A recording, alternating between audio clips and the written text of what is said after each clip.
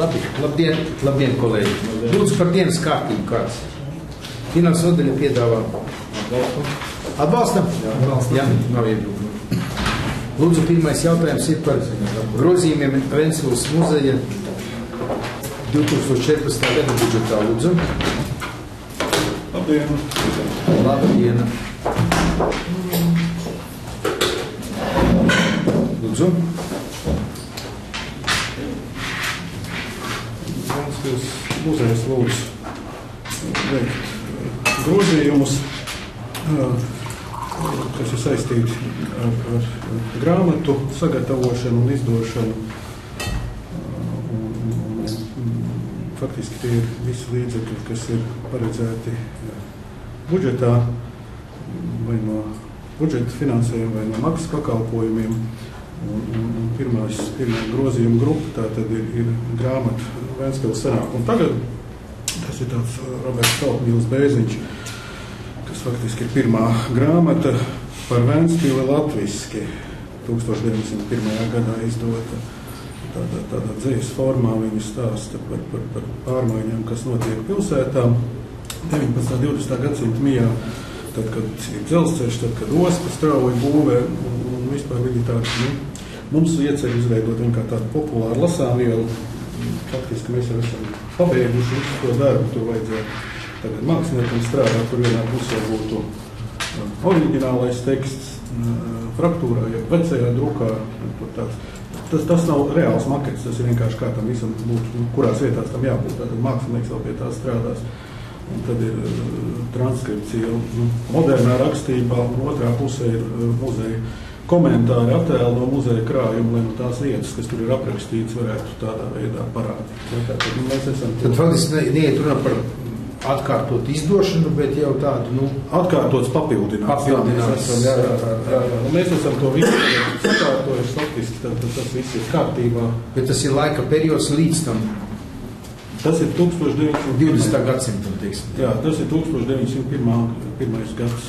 Nu, tad līdz tam, pareizi, arī tie jūsu tās bildes, komentāri attiecas to laiku. jā, jā, jā, jā. jā, tas viss ir, tas viss ir par to, tas tāds, nu, nu, interesants darbs, man liekas. Nu, Vairāk populārs, mēs jau tur, protams, A, kāpēc 500 eksemplāru, kur tik maz? Nu, tā, tu tā mēs toreiz ieplānojam, lai, vai- lai nepaliktu pārāk daudz. Ja tās makets būs gatavs un ja tā grāmata aizies, eh, makets saglabāsies, un tā grāmata aizies, tad atkārtots izdevums būs stipri vērtāks. Ja, nu, vienkārši paskatīsimies. Jā. Nu, jā, un, un, un, un, tur bija paredzēts 3870 eiro pēc pirmām, uh, pirmajām, pirmajiem aprēķiniem. un Tagad mēs saņēmām tā mītu, kurā ir par vieniem 180 eiro mazāk, respektīvi par 176 Skaļāk eiro mazāk. Par mēs esam internetā, 176 mēs esam. 176 eiro mazāk. Un, un tad tie grozījumi būtu. Kā, vai jums ir pareiķināts, teiksim, nu, ja tūkstots eksemplāru, kā mainās tās izmaksas? Tad ir jāprasa izdevējiem, jo tas, tas, tas nav tā, ko var izrēķināt galvā. Mm. 500 jau nav nekas tik maz, cik viņi pirks. Nu, šobrīd to- tādas grāmatas, kas nav daļliteratūra, tomēr pārsvarā cenšas izdot šajā tirāžā 500. Ļoti reti, kad izdod 1000. Tad mums parasti stāv. Ja? Jā. Jā. Kāds Sigvard ir rezervēta nauda šitam pasākumam? Tabuliņā rezervēts šie tri, arī 3870 eiro arī ir rezervēti šim pasākumam. Šobrīd budžetā ir tieši rezervēts. Un tad šobrīd šī summa ir višķiņa mazāka, tad 3700. Mhm. A, kā tu varēsi redzēt to tādu maketu, kas, nu, būtu uz... Nu, es domāju, pēc mēnešiem diviem. Bet mēs varētu viņu redzēt? Jā. Jā, jā, nu, es, eh, A, kas būs autori? nu, faktiski tas ir tāds kolektīvs darbs. kolektīvs darbs. Bet nē, nu, kaut kādā redakcijā, nu, jūsu tad. Jā, es ievadu, ievadu daļu, es uzrakstīju.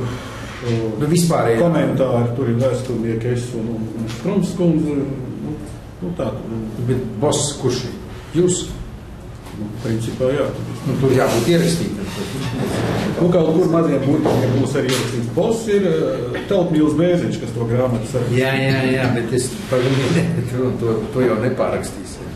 Nu, skaidrs. Lūdzu, kolēģi, kādi jautājumi vēl? Ir kādi jautājumi? Ko? Atbalsts. Man liekas, ka interesants jautājums. Kad būs kaut kas laikmatīgāks? Laikmatīgāks ir nākamais. Dzējā var nerakstīt, varbūt arī prozā. Rozā, tas ir jāprasa Ingrīdai Štrumfai. Viņa pašlaik strādā pie tā. Es domāju, man, mans priekšlikums būs uz budžetu, ieplānot budžetā summu un uzlikt par pienākumu muzejiem strādāt. Atrast autoru vai autoru grupu un strādāt tā nevar būt, ka pirms uh, simtu desmit gadiem varēja kaut ko uzrakstīt par pilsētu, un šobrīd nav kas uzrakstīt. Nu, Tā nevar būt. Nu.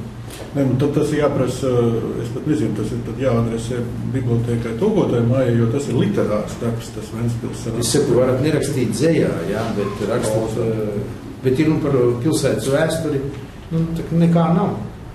Cik pēdējais uzrakstīt pilsētas kaut kādu vēsturi grāmatu? Vispār nav uzrakstīt pilsētas. Nu, paganē Latvijas laikā, kā viņi sauca. Ā, bet tas ir par no, nu, ceļojums. Tas, tas ir ceļvedis. jā. Ceļvedis, jā. Nē, nu, praktiski jau daļēji es piekrītu. Šis ir pirmais mēģinājums radīt kaut ko tādai nu, plašākai publikai, populārāku. jo Mēs visu laiku Nē, tas vajag strādājam labi, nu, ļoti labi, jā.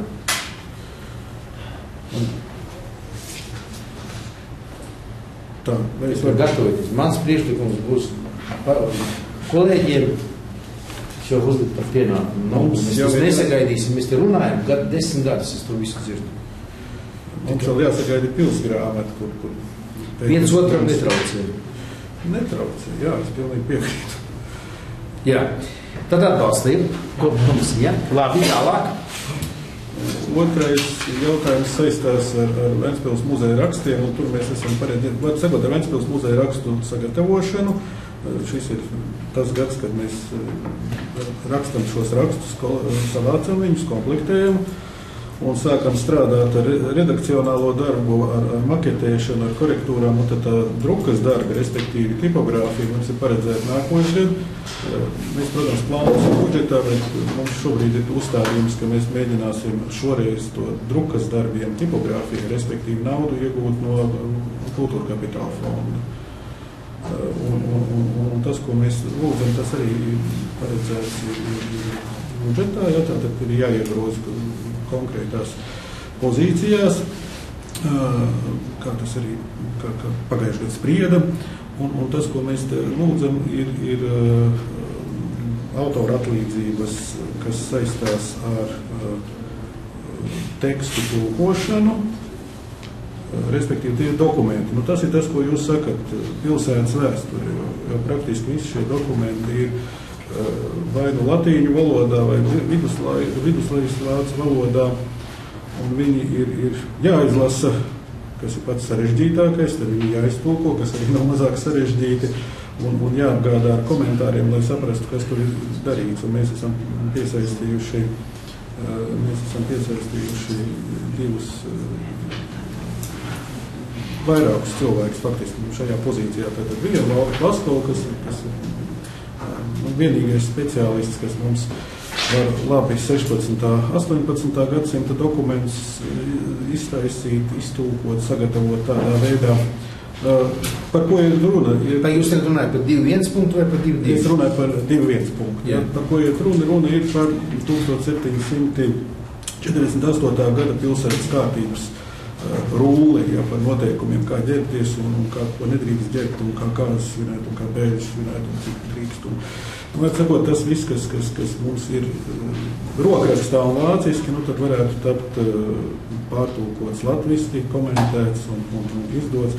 Ir ļoti, manuprāt, labi, ka mums Es domāju, ka mums vajag pārtulkot un pieņemt kā saistoši noteikums. Būs ļoti sarežģīti. Tur nedrīkst celt lietas, valkāt noteiktas kategorijas cilvēki, un kādas ir ierobežotas. Kādas gan uz divām dienām, tā kā pie mums. Jā, Obligāti uz divām? jā nevar jau Nu, nu pareizi, jānomiņš, jānogulda no rīta, jādod zābaki noslēpti. Kāposti jāiziet. Tas ir, tas ir par, šo, šie, par šo dokumentu. Tad eh, mums ir paredzēti visiem. eh, Ok, tam, es domāju, kolēģi, apmēram skaidrs. Jā. Jā. Tam bija budžetā rezervēta līdzekļi. Jā, šie 2000 šī gada aktivitātēm, un tad 15. gada darba tipogrāfija, tas būs nākošajā gadā. Tie 2000 rezervēti. Lūdzu, jaut, jautājumu ziņotājiem ir domas? Nav iebildes? Nav. Tālāk divi, divi. Divi, divi faktiski ir, ir, ir eh, kaut kas tāds pats, ja, bet tikai tur ir finansējums cits, ja es pareizi saku. Ja, jo tas, ir- tas ir no eh, maksas pakalpojumiem. Jā, arī ir tas ir kopojumi. līdzīgi darbi, tikai no Jā. dažādu finansēšanas avotiem. Ja? Jā. Tātad Tur ir arī tie, ko mēs no uh, Lībekas atvedām, tie dokumenti. Atradāt kaut ko prātīgu? Nu, mēs atradām sešus dokumentus, kas ir senākie faktiski pilsētas dokumenti, tādi, kas ir. Uh, Kurš tur? ir muitas kvītas, faktiski tur ir rakstīts, kas ko no Vēncpils ir izvedis. Bēdīgā ziņa ir tā, ka savā laikā tas arhīvs ir bijis izvests uz Padomu Savienību, un tur viņš tā kā ir stipri mīcīgs laikam, un tie zīmoli visi ir nodrupušies. Kā, nu, tas mums vēl šobrīd nav. Bet uh, gadi, gadi kuri Tas ir 1369, 1370. Jā, tie ir vecākie, kas ir tādi, nu, pa pilsētu, jo pārējie ir tādi, ko vadītāji izdod noteikumi, kur parādās kaut kas pa pīli, kas ir, nu, valsts konturs, jā. Bet, bet šis ir taisnība pa pilsētnieku dzīvi, pa ostu. Nu, redz, tā gadi pavelti, ja tā Nē, ideja. nē, nē, tas, tas ir vēl. Nu, tu jūs varētu mums kaut ko paplānot, painformēt, jo mēs toreiz ierosinājām to tādu lietu darīt, ar ko tas viss Jā, beidzas. jā. Nu, godīgi sakot, tad, tā, kad tas viss būs iztulkots, tad mēs varēsim jau... Nē, es nesaku šodien vai rīt uz brokas laiku. Jo, jo es varu atpazīt atsevišķus vārdus, bet, bet es tik brīvi latīniski nelasu. Es to varu. A, Kas te jūs, kur jūs atrodat tulkotāju? Uh, nu, mums ir Latvijā divi cilvēki, kas strādā. Divi cilvēki? Jā. Tie, godīgi sakot, abi divi viņi arī ir tie, kas tagad ir liela izstāde Nacionālajā Latvijas Nacionālajā bibliotēkā, kur ir visi šie senie spriedumi un divi taisītāji autori, divi jau, nu, jau no man Labi, kolēģi, tiklīte, tas ir 1000 eiro, ja ne 3, 920, ja? Kolēģi, iebildumi? Nav? Nav. Nav. Viss? Labi, paldies jums, jā, visu labu. Tā, par sportistu apbalvošanu. Skatīts ir kur? Sporta komisija, labdien. Labdien. Jā, lūdzu. Skatīt sporta komisijā par sportistu apbalvošanu. Viedoklis. Viedoklis lūk pašvaldība atbalstīts. tas ir jā, atbalstīts. atbalstīts, jā. Jā. Jā, labi, lūdzu. Tātad pateicoties mērķiecīgam darbam, Vēnspils sporta skolas audzēkņi Rebeka Kopa, eh, trenera Edvarda Andruškeviča vadībā ir izcīnījis pasaules jaunatnes olimpiādēs varcelšanā trešo vietu, kā arī Roberts eh, Blumbergs eh, Latvijas izlases sastāvā basketbolā U16 ir izcīnījis eh, otro vietu. Eh, Ņemot vērā gan eh, sportistu sasniegumus, gan arī treneru ieguldīto darbu un sporta komisijas ieteikumu, lūdzam rast iespēju apbalvot eh, Rebeku Koku un treneru Eduardu Andruškeviču ar 300 eiro naudas balvu pēc nodokļu nomaksas un Robertu Blumbergu un treneru Juri Petrovu ar 200 eiro pēc nodokļu nomaksas. Mm. Kurienes tie cipari jums, kāpēc tādi cipari ir savādāki? Protams, eh, pamatojums ir eh, nolikums, eh, kurā nav summas norādītas, bet ir ieteikumi.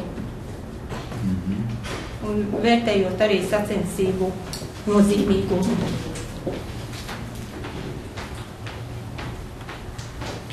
Man jau liekas maz, bet nu labi. Tur mēsīšos. Mēs vēl mazāk piedāvājam sporta komisijai. Sporta komisija palielināja.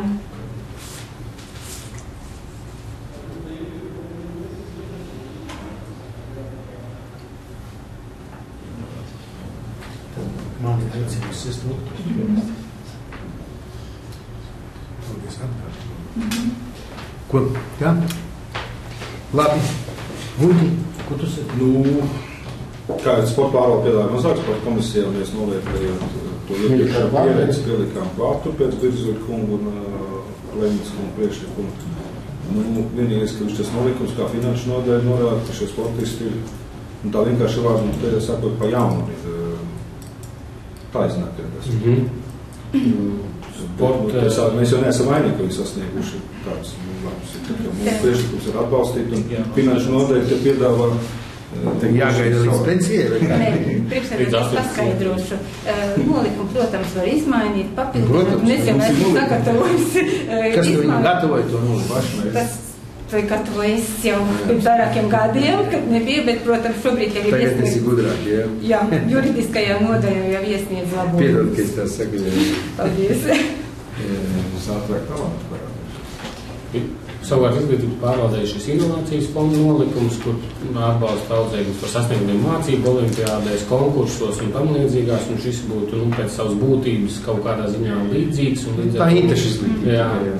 Viņi skolēni un tam līdzīgi līdz ar to caur šo nolikumu arī varētu šos stimulēt. A tie cipari salīdzinoši Palīgi. lieli.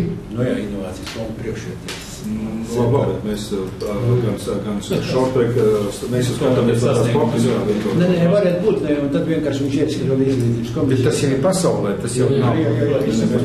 Eiropa, pa, pasaule un Eiropa. Viņam arī Eiropā U17 ir pirmās vietas ieguvēja, par ko mēs esam nobalvojuši. Roberts jau bija, nu, ja tā var teikt, pamatpiecinieks. Viņš jau nebija, kas sēž uz beņķītē. Viņš jau gāja pamat, viņš jau ļoti. Jā, viņš tur labi. Nē, nu, Viņš sasniedz tiešām ir. Ā, Tad viņš vienkārši ieskatro, kad ir iz- iz- izglītības Pa masu komisija. skolotāju maksā, ko es nu,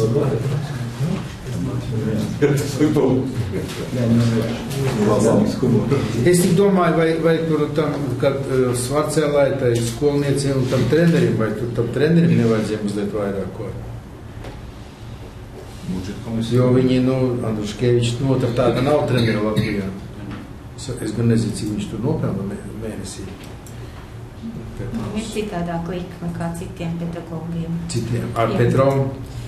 Petrovam nav. Tā kā varbūt par simtniekam paņem. Nu, Nu, vienmēr arī tā kā, es saku, sporta Simt, pārvaldība. 100 eiro klāt, Andruškevičam būtu 400 un Petrovam 300. Paldies. Paldies. Jā? Jā, tas ir nedod stimulu treneriem strādāt. Jā. Paldies. Atbalstam, jā? Paldies. Labi, paldies. Un kad mēs, kad mēs kaut ko atbalstam, tas būs basketbols. jā, bet mums saulēcīgi. Tas ir vajag. oktobris kaut kāds, jā. Oktobris, jā. Oktobra vidus. 18. eh, oktobris mums tie bija pirmā spēle. 14. pabeigsim. 18. O, sestdiena pēc tam, ļoti jauki. Jā. Labi, paldies jums. Par atbalstu vingrotājai Sabīnei Gošai. Lūdzu. Ā, tā ir tā meitene. Tā ir tā, kas mums bija medaļniecē pagājušajā Jānis Olimpiādē. Un, Jā. Šogad pirmais numuriņš Latvijā pieaugušo izlasē notraumējās, un Sabīnai bija tāda ekskluzīva iespēja piedalīties pasaules kausā, kur ir izcīnīta tiesības piedalīties pasaules čempionātā. Oho. Un uh, pieaugušo konkurence. Mums startē kā otrais numurs Latvijā, bet uh, federācijas tikai pirmo numuru.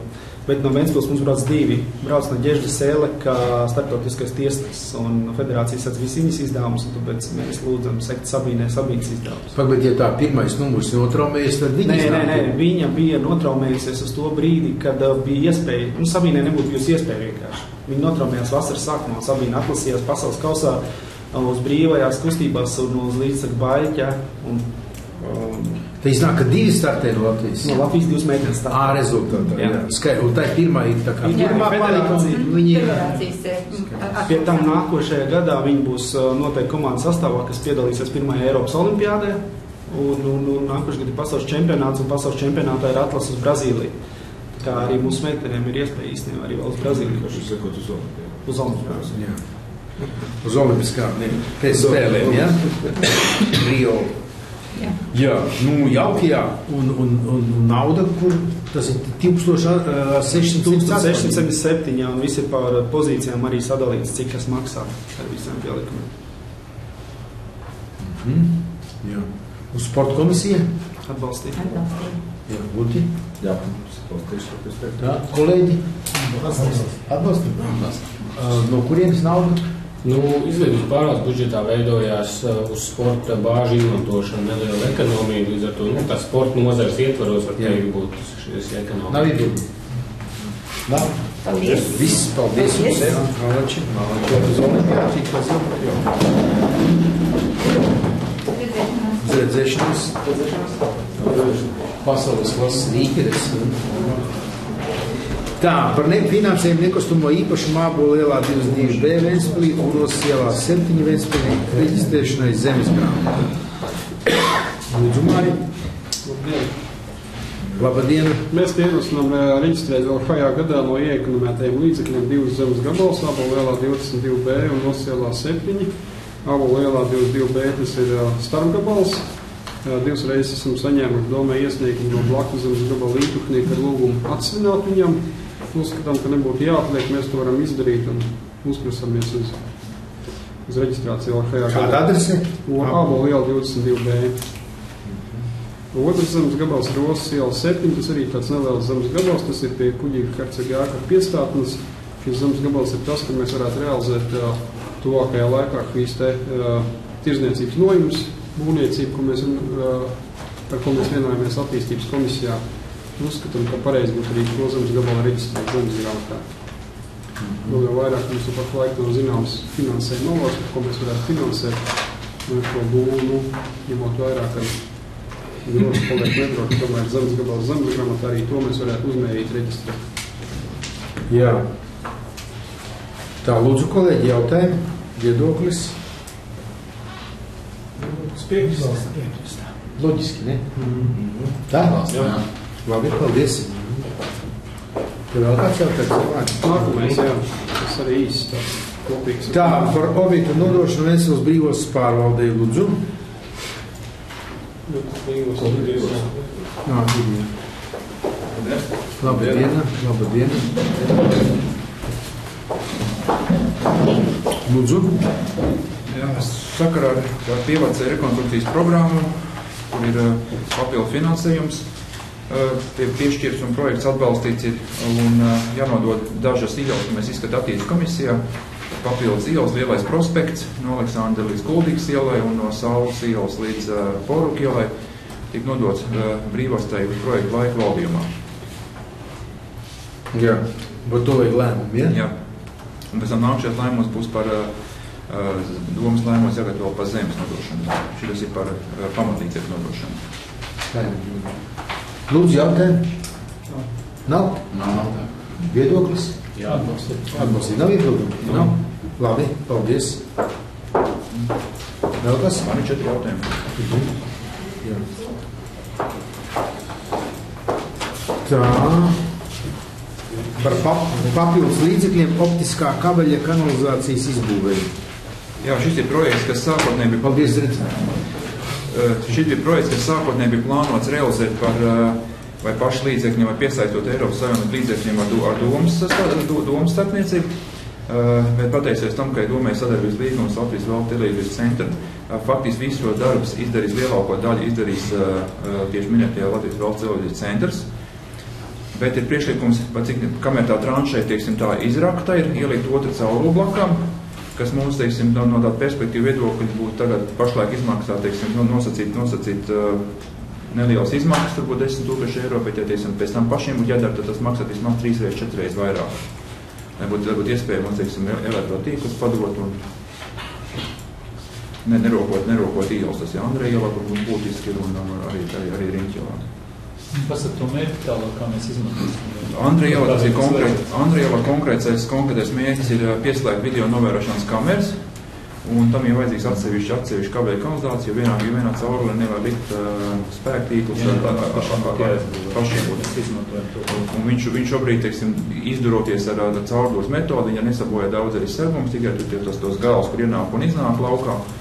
Un tagad pilsētas aparāts mazāk, mazāk cieši par to, jo mums tāds iekārts nav. Ja mums būtu jā, tāds iekārts jā, jānomā, tad tas būs mobilizācijas izmaksas un daudz dārgāk.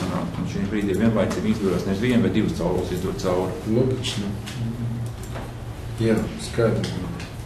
Tas ir tagad izdarīt, ja? Jā, un otrs objekts ir faktiski, ko mēs vienlaicīgi ar viņiem, ko Andris arī teica, tā ir Riņķielā, Riņķiela posmā no Zeņielas līdz uh, faktiski gandrīz aiziet līdz Sausalai, tur schēmā var redzēt, arī ierosinām, respektīvi viņi tur lielākā daļa te gan iet ar atklāto metodi, bet uh, ielikt rezerves sauru, ko mēs varēsim izmantot, uh, teiksim, elektroapgādes nodrošināšanai vēl kādiem citiem mērķiem, jo, uh, kā zināt, tā Riņķiela daļai mēs izbūvējam, tur, tur apbūvu paredzēt perspektīvā, Un, lai ņemot vērā, ka tur daudz koku, faktiski nebūtu vēlreiz jārok. Un tas, kā jau Andris teica, būs vismaz divas reizes dārgāk. Vēl būs jāņem vērā, ka tur stāvēs tā optika, kas apgrūtinās vēl, respektīvi, tur būs jāievēro attālu. Tagad pie viena ierakta mēs varēsim izmantot. Faktiski tās izmaksas ir pie viņa ielā krietni mazākas nekā Andreja ielā, un tas arī būs pareizi no attīstības viedokļa. Jā, bet Digitālais digitālais tieši tā pievienojās šim mērķim.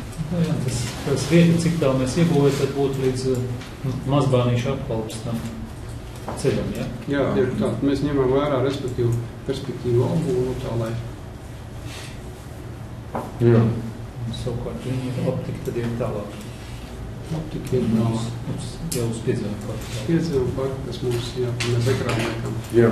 Tur tas projekts ir. Jā, Tas ir tajā sadarbības līguma ietvaros. Mēs izmantojam viņu izvēlēt to Es kanalizāciju. domāju, ka tur labi sadarbība. Ar to centru, jā. Labi, lūdzu, jautājumu kolēģi. Nav? Ir priekšlikumi? Atbalsta? Jā, nav nevienam iebildu. Nav? Labi. Paldies. Paldies. Tā, vērtībā palīdzību piešķiršanu pilonu uzstādīšanai. Jā, šis ir atkārtot skatīts jautājums. Eh, eh, To skatīja mēnesi, mēnesi vairāk atpakaļ.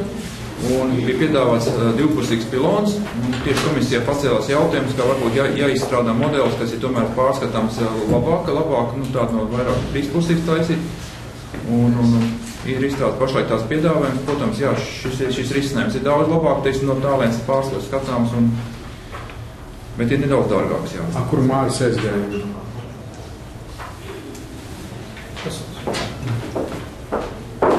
Te nav trīspusējs, te ir divpusējs. Tā ir, tā ir vecā bilde. Pēdējā lapa. Pēdējā lapa, ir. lapas. Jā, devīto to es skatījos. Jā.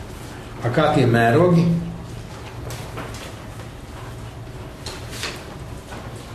Viņš nav pa masu, viņi varēs pamanīt. Tur blakus pasties, kas pa māju. Nu, viņš viņš ir kā mod- modelēsiet tur. Norīšu kungs tur modelēsiet. Tad, nu, Māri tā pilota, tā tie mērogi pret to māju, viņu pamanīs vispār. Viņš nav pa masu. Pa ventu reklāmas, vai tu neesi līdz kursam? Tas neesmu līdz kursam. Kā, kā tu noveļo var nebūt līdz kursam? Būtībā šis jautājums ir nozīmīgs skatīt šo. Un tas pēc ieteikumiem un skaņots šāds piedāvājums. Nu, jā, es, es neesmu redzējis, ne, nespēju tā nokomentēt. Ak, ko daigi? Vai ir, es varu pajautāt, kā var ienākt. Nu, jā. Ja viņš tāds piņķeros neiznāks uz tā, tā fona.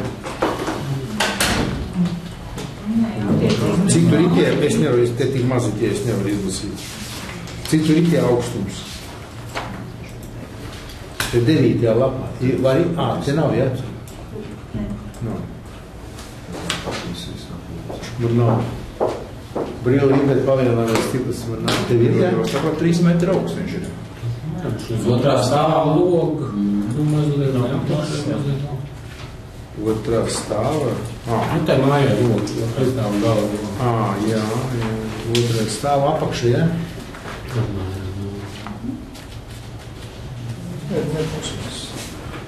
Vēl viena tā bilde tur ir. Es zinu, kura bilde, bilde, bilde, bilde, bilde. O, Otrā.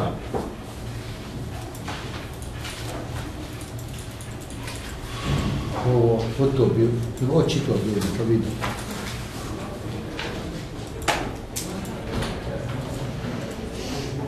Labdien, Dai!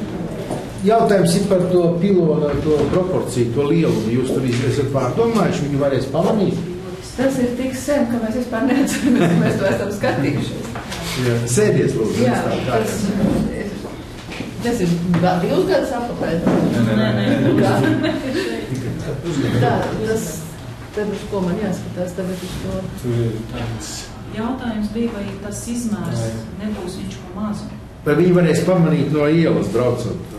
Nu, pret to mājas lielumu tā, tāds jautājums. Cik jūs esat to izvērtējuši? Tas ir tikai muzikālā bankā, ja? Nē, nē, nē, es, pārteicos, es pārteicos, jā. Aha. Nu, es šādā, tuvāk es šādā kontekstā man ir grūti pateikt, bet mēs toreiz skatījāmies, ka viņš jau nevar viņu nokaut to lielo, to lielo kas tur ir tas. um, Ne, ne, video bildi. Šito nevar saprast. Nu, to video bildi. Vēl lielāk.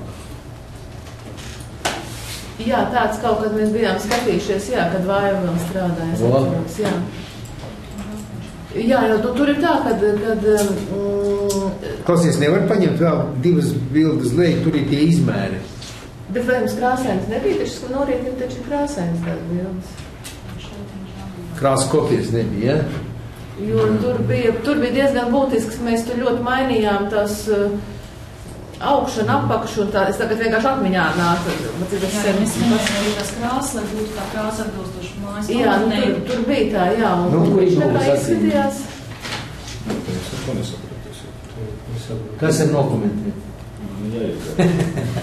Kas Jā, tas jā. ir? Es nesaprotu. Es saprotu. Tas ir mans attālums. ir Tas, šitas ir no augšas, šis jau ir attālums līdz iecēju mājā, šis parādīt, šis nav. Tas ir mājas stūris. Plānā, nav. Plānā, tas ir, jā. Piesaist. Jā, tā, tā. Man liekas, ka mēs varēsim akceptēt, bet vienkārši tā plānā. Itālā. Itālā. Nu, Tev ir astoņi. Milzāk.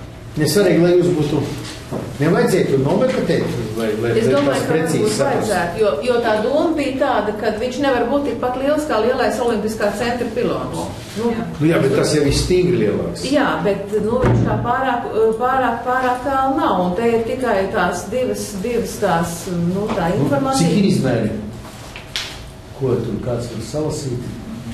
Neredzu, kur viņi būs. Tad jā, aprakstā ir ir rakstīts. apusē reklāmas pilona izvietošana 1100 mm uz 3000 vai 600. Ko? Aprakstā ir, ka 3 metri augsts viņš ir. 1100, tas ir platums, Nu, Trīs ir diezgan daudz. 3000 Tas ir 600. stāv augstums pilns. Tas ir. Jā. Kolēģi, varbūt tāds priekšlikums, nu tad, nezinu, varbūt, nu, cik tur nomakatēt, nu, uzlikt dēļa kabūtu, nu. Ko, nevajag? Bet tad viņš ir jāliek uh, uzreiz ar trīs joslām. Nu, ka vienalga kādās krāsās, nu, Nu, nu, lai tā dabūtu to trīskārtīgo dalījumu. Nu, kas tur paredzēts? Nē, jo tur ir tas olimpiskā centra, tas pilns, jā. Un tajā ēkā, ja mēs viņu aizliksim priekšā, tāda ļoti tālu, man liekas, ka viņš Nē, nē, es, es nezinu, lielāk, mazāk, vienkārši, nu, jo Nē, nu, tur ir, es- jo redz, mērķis ir kāds, ka braucot, ejot garām, lai viņu, lai viņu pamana, jā, nu, nu tā. Nu, Es domāju, ka viņi pamanīs, jo tāpēc, ka ja viņam ir 3 metru augstums, tas nozīmē, ka uzraksts Ventu banka ir acu augstumā, nu plus mīnus, ja. Lāts augstums mums 1,60 m ir. Nu tā, rēķini. Jā. Tad, tad tas ir pa vidu, tad, tad acu augstumā arī braucot viņi var redzēt. Un ja tur ir tikai viena informācija, es nezinu, viņam vajadzētu būt lielākam. Protams, mēs varam pa, pamaketēt. Kā tu lai- teiksi, nu, tā, lai- Var, var uzmaketēt, Ja lai tu esi pārliecinātos. pārliecināts, nu, tad pārliecināts. Nē, nu tā es nevaru galvu likt cīlā, es nevaru Nē, jau teikt, ka... galvu tev noderēs, mums, tev un mums noderēs visiem. Jā, tā kā, ja varētu, ja varētu uzmaketēt, būtu ļoti labi. Nu, uztaisīs jau, nu. Nu, rīt jau tās lietas darīs. jau. Jā. Nu, jā, nu. Jo, jo tur tā proporcija starp to esošo un šo, nu, viņš nedrīkst pārsist to, to lielo, ja. Un man liekas, ka mēs tām krāsām tur diezgan uzmanīgi skatījāmies, lai viņš saskana. Nu, te jūs sazīmēt tad tās krāsas. Jā. Man, man liekas, ka būs labi, bet, nu, ja ir kāds šaubas, nav jau problēma Nē, paskatīties. ja jums nav šaubu, viss kārtībā. Ja, jūs ir. ķīlā neliekat, nu, tad Jā, jūs teiksiet. Bet, bet maketēt varētu. jā. Labi, paldies, Dārī. Paldies, jā. Ok. Lūdzu, kolēģi, vēl jautājumu. Nu, tā. Ja atbalstat, tad no kurienes nauda? Komunālās pārvaldes maksas pakalpojumi. Ir jau budžetā rezervēts un tā starpība, kas vajadzīga klāt. Tā kā ne, no budžeta nevis papildus nav vajadzīgs, jā? Jā. Mhm. Tā, kopā tas ir 4000, jā? 900. 5000. Jā. Kolēģi, lūdzu. Atbalsta. Vai iebildu? Bet es saprotu, ka mēs to bet neatgriežamies. Nē, nē, viņi izlēma, ko. Jā. Jā. Jā, labi, paldies. Tā, tā, tā, tā, tā. Un kas tas ir? Energoefektivitātes seminārs. Par būvniecības semināru par energoefektivitāti būvniecībā. Lūdzu. Labdien, labdien. Mums šāds līdzīgs seminārs, kas mums vairākas gadus atpakaļ jau bija. Vecamīna Klaviča no Pasēra Haus Latvija.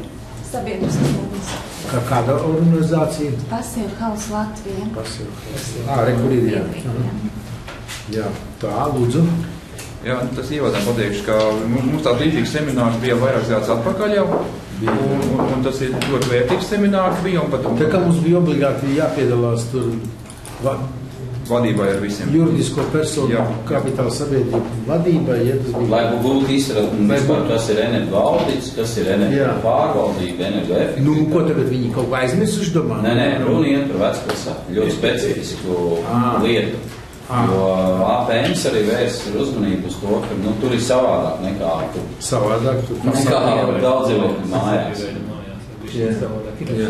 Un šī ir sfēra, ko praktiski jā, arī vajag teiksim, atkārtot, arī vēl, vēlreiz uzsvērt tiem, tomēr, lai tas tāds te zināms. pa Eiropas naudu vienkārši Jā. piedāvājums. Labi, lai tas. Jā, lūdzu. Pārstāv. Cik jums vajag laiku? Es ceru, ka daudz nevajadzēs. Nē, nē, nē, nē, nē. cik minūtes? Nu. Daudz ar vezumu vēl, jā. Piecās, septiņās minūtēs. Jā, piecās, piecās, jā. Stāstīt būtiski. Jā. Tad eh, programma projekta nosaukums būs enerģijas ietaupījums vēsturiskajās sēkās, kas tiks integrēts pasīvo ēku, certificētu pasīvo ēku amatnieku kursā. Un programma ir Nacionālā Eiropas ekonomikas zonas instruments. Un partnerībā mēs šo projektu īstenosim partnerībā, kur iesniedzējs, galvenais iesniedzējs būs Kurzemes plānošanas reģionas partneri Pasilkaus Latvija, tad Ratkaveres gudro māju kompetenču centrs Igaunijā un kultūras mantojuma direktorāts Norvēģijā. Mhm. Tā sadarbība ar kultūras mantojuma direktorātu ir valsts kultūras pieminekļu institūcijā jau šobrīd, un līdz ar to viņi arī mums ieteica šo partneri tieši šajā jomā, no kur mēs varētu arī pārņemt pieredzi. Tāpat, tāpat arī sadarbosimies ar Latvijas Lutriskās evanģēlijas baznīcas apsaimniekošanas organizāciju. Par Mhm. problēmām problēmas ir būtībā diezgan daudz. Nekvalitatīvs nu varbūt šeit eh, ne, ne, nekavēšos. Jā. Un mūsu mērķis ir izstrādāt uh, šo programmu, lai, lai izglītotu profesionālo auditoriju par uh, kultūrvēsturisko ēku ilgspējību un energoefektivitātes uzturēšanu. Uh, un, to iekļautu amatnieku un projektētu, projektētā kursos. Šeit ir tā mē- mērķa auditorija, kas šiem kursiem un šī projekta kursiem būtu. Tie būtu būvošu darbinieki. Bet visa kurzemes reģiona, ja? Mēs principā šajā, šajā projektā tak- tikai kā pilotu reģionu ņemam kurzemes reģionu. Jā, bet visu kurzemes, ne tikai Ventspils pilsētu. Jā, ne tikai Ventspils pilsētu. Tā, projekta sagaidāmie rezultāti tiks izveidots apmācību kurs, kurš būtībā būs vienu nedēļu ilgs kurs ar programmas, ā, programmu un metodiskajiem materiāliem. Un Ventspilī tiks īstenoti divi piecu dienu ā, kurs, kursi, kas tiks integrēti certificētu amatnieku kursā, tā. Tāpat arī tiks divas, divas ievadlekcijas, kas, ir, kas nozīmē vienas dienas semināru, kas aptvērtu visu ši, visas šī materiāla, nu, teiksim, to, tos būtiskākos rezultātus un, un izglītotu plašu auditoriju. Teiksim, šeit, šajā gadījumā būtu aicināts jebkurš ā, Ventspils, Ventspils iedzīvotājs, kam tas ir saistoši. Tad vēl mēs plānojam vienu, prakt, vienu semināru no vizīti, eh, kur tiktu arī no pašvaldību darb, eh, pa, pašvaldības kāds cilvēks brauktu uz ārvalstīm. Šobrīd ir izskatīta eh, Zviedrija kā variants, kur ir mm, īstenot. Viņiem vai ir vērts sēks arī, ja? Viņiem ir Ir kādi, jā. Un tad ir arī vēl Igaunijas eh, gudro māju kompetenci centrs, kuriem arī ir tieši izpratne. Igaunijas? Igaunijas, jā. Un uh, viņiem ir uh, tieši arī pieredze ar gudrajām tehnoloģijām uh, tās kultūrvēturiskajās sēkās. Tāpat arī kurs tiks in- integrēts uh, Rīgas celtniecības koledžā un šobrīd arī runājam par Rīgas tehnikumu, restaurāciju. Tad eh, šeit ir eh, certificēta pasīvo ēku un projektētāju amatnieku kursa saturs. Eh, Būtībā mēs plānojam integrēt certificētu pasīvo ēku amatnieku kursā.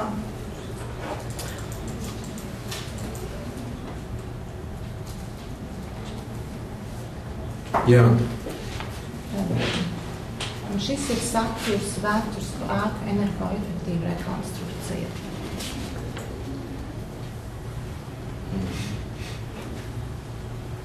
Un, nu, teiksim, tie iegūmi pēc šī kursa te, būtu tādi, ka izējot šo kursu, viens ir tas, ka tiktu iegūtas zināšanas tieši attiecībā uz kultūra vēsturisku ēku energoefektivitātes uzlabošanu, un plus arī būtu certificēts amatnieks.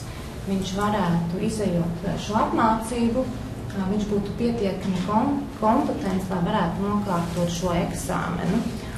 Eksāmena kārtošana mums ā, nav paredzēta projektā, tas ir pilnīgi atsevišķs, atsevišķs pasākums, jo viņš notiek ti- trīs līdz četras reizes gadā noteiktos datumos, ar Pasīvas institūta starpniecību. Viņi veido eksāmenu un mēs veicam visus sagatavošanās darbus.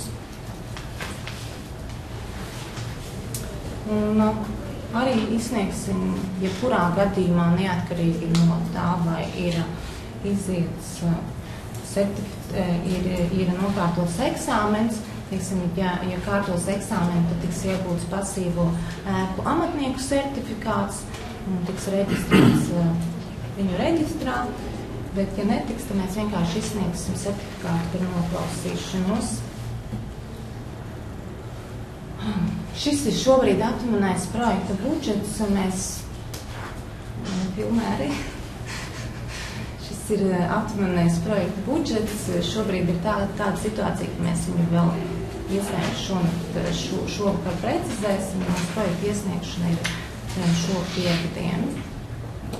Un tās ir tās aktivitātes, eh, kurās eh, mēs paredzam Ventspils eh, domas līdzfinansējumu. Tas ir vienas dienas semināru, semināru apmācībai, apmācību kursu īstenošanai. Tad Tas ir piecas dienas, arī ar vienu praktisko dienu un kursa metod- metodiskajā materiāla izstrādē un sagatavošanā.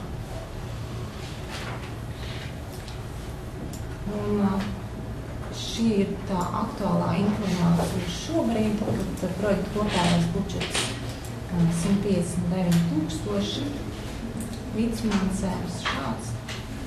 Plānots uzsākt nākamā gada janvārī līdz 16. gada aprīlim. Projekta iesniegšanas termiņš ir šo piekdienu. Šonadēļ. Nu, studenti, jā. jā, viss. Jā. Eh, Tad eh, cik ir vesels līdzfinansējums no visa šī? Ah. 2578. Tur ir cits cipars.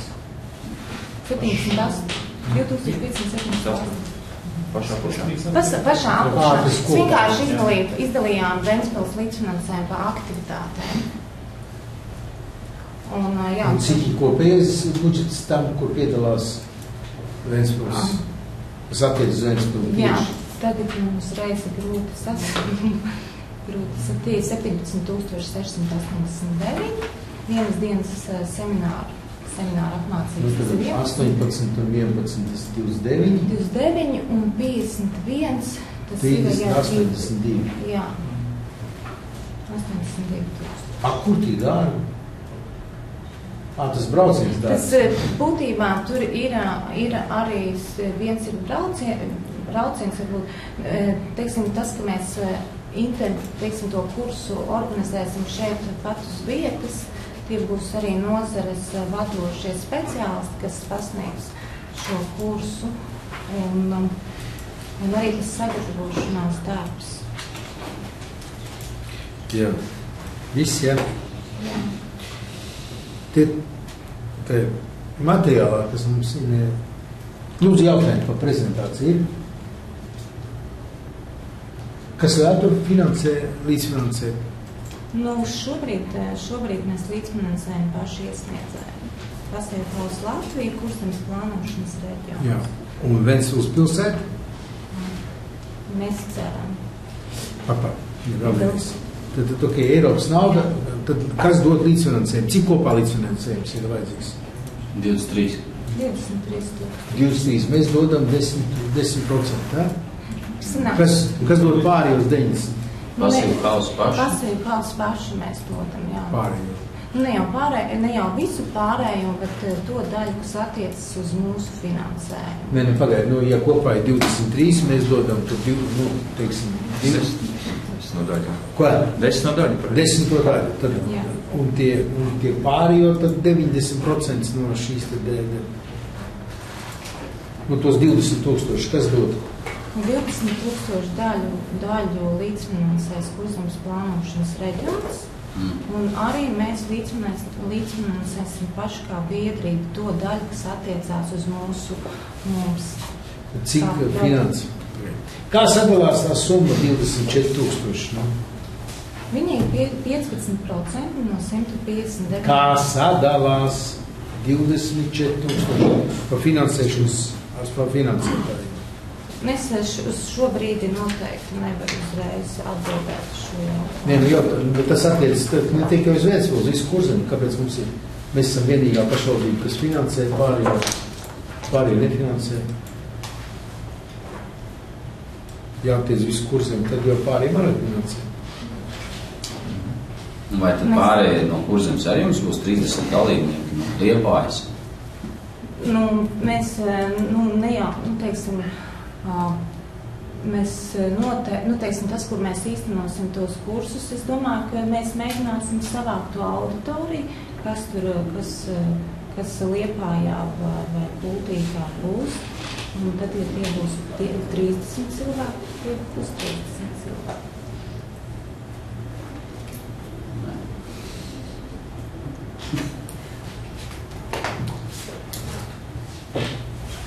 Nē, jūs neatbildējat man jautājumu. Jā.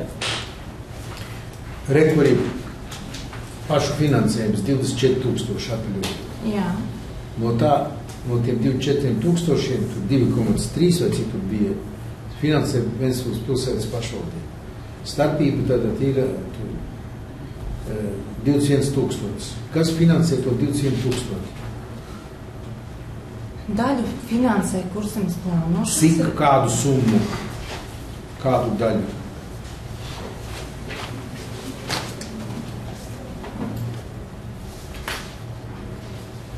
Kas no mums šo jautājumu gatavojas?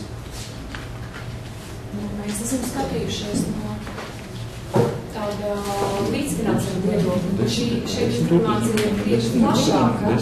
Jo no iesniegtajiem materiāliem mēs sapratām, ka mēs līdzfinansējam pēc tam šo te eksamināciju, nu, kas būs tā, tā kā tālāk, tā, tā, tas turpinājums. Tas ir, tas ir vēl papildus. To, to tie, kas paši grib tie darīt.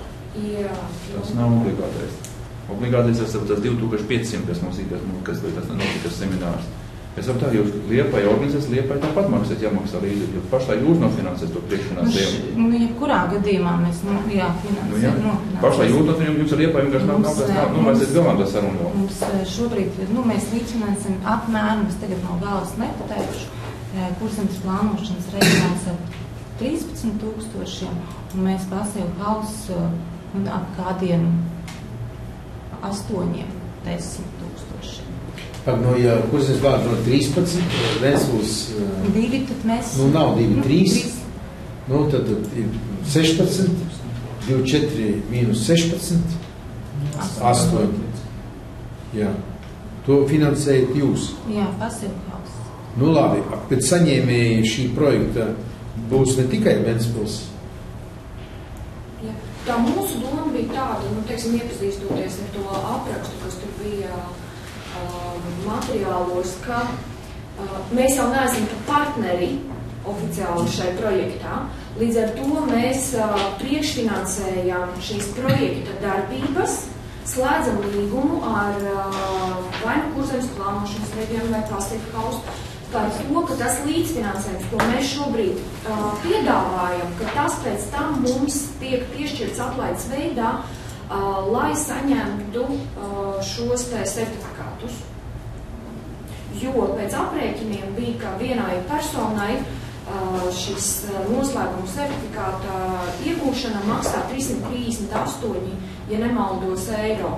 Un ja no Ventspils pašvaldības puses būtu 30 personas, kas iesaistītos šajos kursos un gribētu saņemt eksaminācijas šo certifikātu, ka par to summu mums tiktu piešķirta pēc tam atlaide. Te neiet runa par eksamināciju, tur bija rakstīts, ka ir atsevišķi. Ja tur sanāk atsevišķi, mēs tagad tā runājam, nesanāk. Re, kur ir 280 eiro jāmaksā, ja gribu saņemt certifikātu, kārtot eksāmenu, tad jāmaksā 280 eiro. Ārpus projekta. Ārpus projekta. Tas ir tā teikt, vispār uz projektu neattiecīgi. Nu, tā, tā ir tas ziņojums, jā, tas neskan to, kas ir īstenībā. Tas, ko saka Kristīna, tā arī bija materiālos līdz komisijas sēdē. Jā. Nu, ziņojumā par to rakstīts, ka 338 eiro eksāmens maksā. Nu, dinamika šim jautājumam ir pa stundēm. Jo kā, nu, tas ir, ja tu uzdod priekšstājas jautājums, ir loģisks. Kurzemes panošanas reģionā jau ietilpst arī Ventspils pašvaldības. Mēs neesam kaut kādi no malas, ja?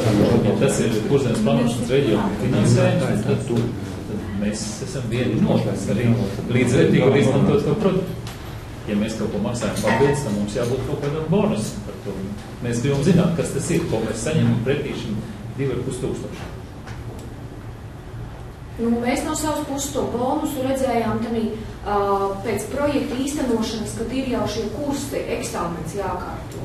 Bet, nu, tas eksāmens maksā, Tas nu, tagad viņš maksā 280 eiro, man materiāls 338.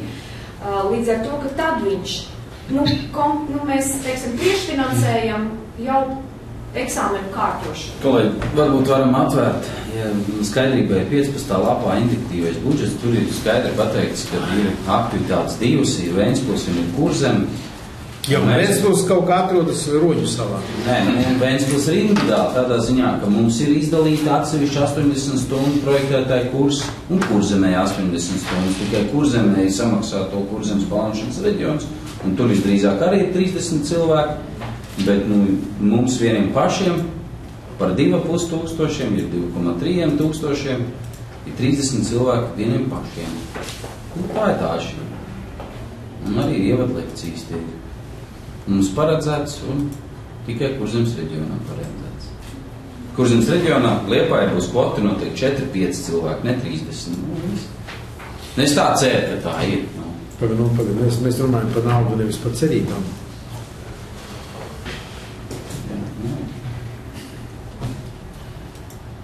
Kas zina? Nu, mums ir. Tu zini? Nē, nu, cik es iedzinies, es sapratu tā, ka tas ir par to, ka mēs samaksājam to divu pusi, mūsu iegūmus, jā, ka mums ir divu lekciju kursi ar ārvalstu ekspertu piedalīšanos, tā kā mums bija, teiksim, augstskolā Jā, mēs arī- zālē, zālē sanākam par visu lekciju kursu, teiksim, div, div, divas, iznāk divas mērķa auditorijas. Viena būtu pašvaldība darbinieki, un otrs būtu, teiksim, pilsētas, teiksim, ap, māja apsaimniekotājiem tā tālāk. Tas būtu tas mūsu iegūms par tiem divu pus tūkstošiem, ko mēs iegūstam. Nu, jā, mēs vēl noteikti arī pirms tam runājām par to, ka uh, Ventspils būtu vienīgā, vienīgā vieta, uh, kad mums, mēs mēģinātu apvienot, apvienot šo kursu īstenošanu ar ārvalstu lektora ie- ie- ierašanos Latvijā no Norvēģijas. Un tad, tad tā, tā būtu šī vieta, kur varētu norganizēt arī iekļaut uh, apmācībām. Neredzat, jūs runājat tādā varētu, bet, nu, ja mēs lemjam par atbalstu, mums skaidri jāzina, kādi ir tie iegūmi. Ja? Jo tā, mums- ir, jo, redzat, tā ir publiska nauda, tā jau nav privāta nauda. Mums, ā, mums ir pieredze apmaiņas vizīte no Norvēģijas Latvijā. Un, ja mēs varam salikt laika plānā, kad šo apmācību, nu, saskaņot laika plānu, ā, kad tas sakrīt ar, ar, ar jūsu apmācāmajiem cilvēkiem, noteikti. Tad jūs runājat pieļaujumu formu, jūs saprotat, tā ir tā, ir tā starpība. Nē, nu, bet mūsu cilvēkiem nu. saplānot laiku, tad, kad būs šīs ekspreses, nu, gan nav nekāda problēma. Nu, tad, tad, tad, ja jūs to varat izdarīt, tad mēs Protams, nonākam protams, pie protams, mēs apzināmies. apzināmies. Mums vienkārši mūsu līgumā, ja mēs maksājam tos eh, vairāk kā 2000 jāredz, tas ir tas, ko mēs iegūstam. Tie divi lekciju kursi, saprot, ka pirmais ir tas 30 cilvēki, kas ir pašvaldības, teiksim, pārstāvja pašvaldību darbinieki, ka 30 cilvēki audu mērķa autori ar, ar ārzemju ekspertu piedalīšanos būs tas pirmais.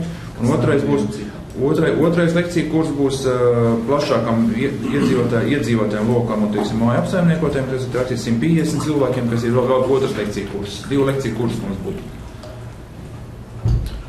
Jā. Ieg- Iegūmus par to divu. Uzliekat to tabuliņu ar tām aktivitātēm budžetu. 15. lapā. Paldies, jā. Projekta vadība.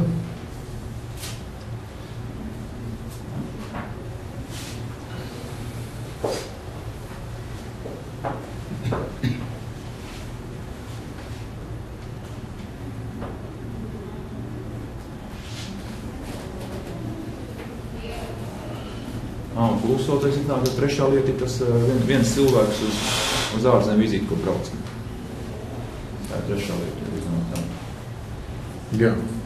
Nu, te tie 30 cilvēki, kas būs tie septiņi, kas no Arturas pilsētas būvniecības nodaļas, tur, vai- tur vajag tik daudz? Tas ir pamatot. Nu, šī, šī brīdī tas ir vienkārši ielikt visu nodaļu iekšā, lai tas, tas, jo te, tad būtu apmani, dzedoni, bože, uh, to viņi nedēļu nestrādās? Nē, nē, tā ir viena diena tā ir. Viena diena, tas viena diena lekcija tā ir. Tā ir saprot, jā? Mums ir, teiksim, mums ir tas, eh, tas kas ir certificēto, ar, nu, mums ir 40 dienu kursa izstrāde šī projekta ietvaros. Tas nozīmē nedēļa, bet tā nedēļa nav, nav nepieciešams nedēļu veltīt pēc kārtas. Eh, Tas var sadalīt pa dienām, piecas dienas, piecas nedēļas.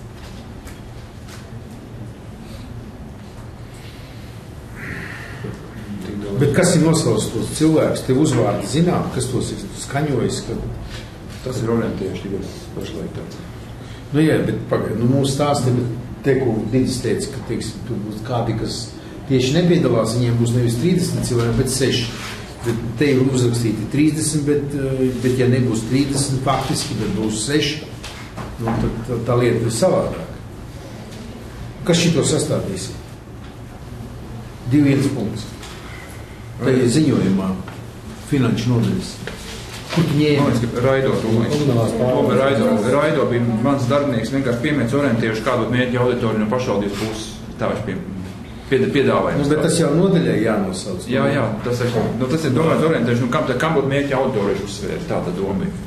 Jā, nu, pagad, nu, viena lieta, ko viņš domā, cita lieta, ko domā nodaļas vadītājs. Tas pats Arkus pilsētas būvniecības nodaļā.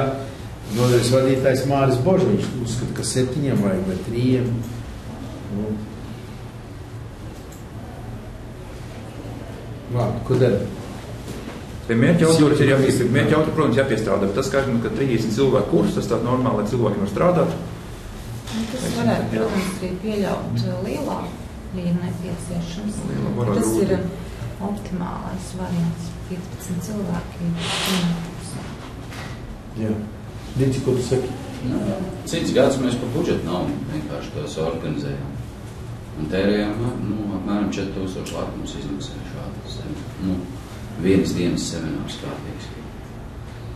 Nu, tagad bija iespēja, nu, daudz pamatīgāk, protams, bet piekrīt, ka nav vēl atrunāts visas detaļas, jo tā ir tikai projekta ideja. Piekrīt, ka arī pēdējā br- brīdī to organizācija dara. Tā ir nevalstiska organizācija, mēs jau nevaram diktēt. Principā mēs arī kurzemes plānošanas Es atbalstu. Kas slēdz līgumu no, no pašvaldības? Viņa doma, ka komunālā pārvalde. Nu, varam slēgt, un to mēs pēc tam atrunātām, mēs jau Bet, nu, kāds sakars enerģētikai ar komunālai pārvaldību? Nu, mēs or, or, organizatorisko pusi. Trotuāram. Tas Vienkārši Nīmas nav pašvaldības iestāde, viņa kā uzņēmums, tāpēc nu, mēs viņiem pašvaldības Ā, finansējam. to ir iestāde, ja?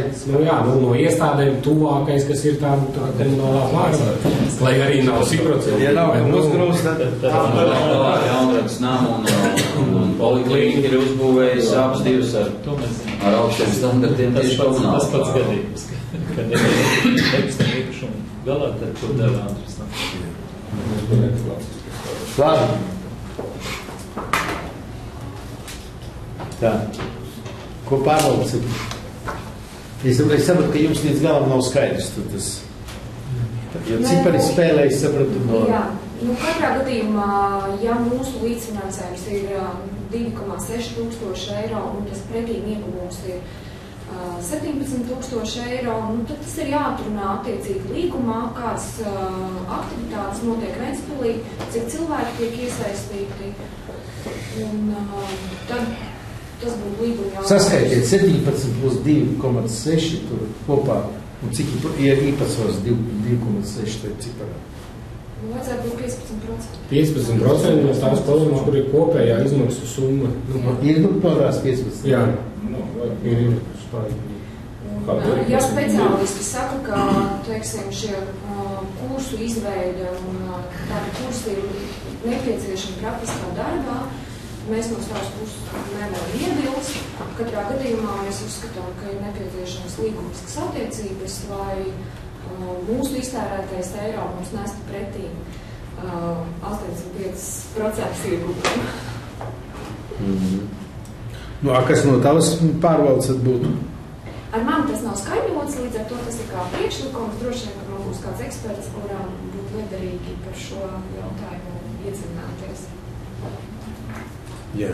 Priekšsēdē kopumā jau tas pasākums ir atbalstāms, ja tur var dabūt kādu mēģinu uh, finansējumu no malas, un mēs esam maksājuši pietiekuši lielu budžetu finansējumu agrāk līdzīgiem. Protams, ka jāatbalsta. Jā, vienīgais jautājums, ka skaidrām. plānošanas reģions finansē, un mēs tā kā ārpus plānošanas reģiona, kaut ko mēs esam tur dalībnieki, un nu, tad man tā lieta nu, tā īsti tā nepalika skaidra.